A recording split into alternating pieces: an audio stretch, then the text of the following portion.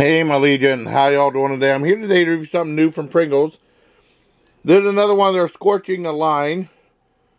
And there's their scorchy, wavy, uh, loaded nachos. I've never seen these before. I saw these at uh, Dollar General. They might have been around $1.50, I think, maybe.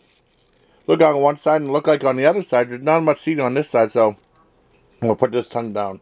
Side tongue down.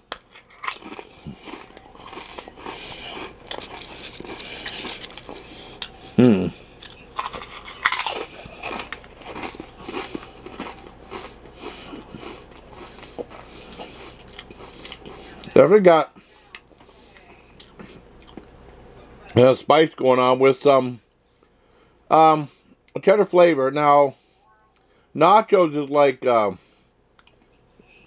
a cheddar, like a nacho cheese and chips. So these are the chips right here already. And nacho, I mean, you know, the somewhat cheddar flavor, nacho flavor.